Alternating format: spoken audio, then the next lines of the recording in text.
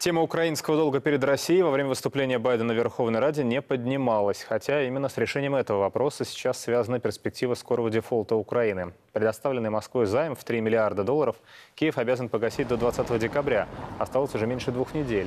Месяц назад Москва предложила свой вариант рассрочки. Его озвучил на саммите двадцатки в Турции Владимир Путин. Россия не просто согласилась реструктурировать долг до 2018 года, но и предложила Украине даже лучшие условия, чем МВФ – выплачивать по миллиарду в год. Однако все это исключительно под гарантией властей США, Евросоюза или одного из международных финансовых институтов. Вашингтон выступать гарантом не захотел. И, как сказал сегодня, как сказал глава российского МИДа Сергей Лавров, это говорит о том, что за океаном в восстановление платежеспособности Киева не верят. Сегодня, кстати, был последний срок, когда западным кредиторам предлагалось отреагировать на инициативу Москвы по реструктуризации украинского долга. И вот, как заявил пресс-секретарь российского лидера, теперь, если Киев вовремя не погасит долг, это будет дефолт.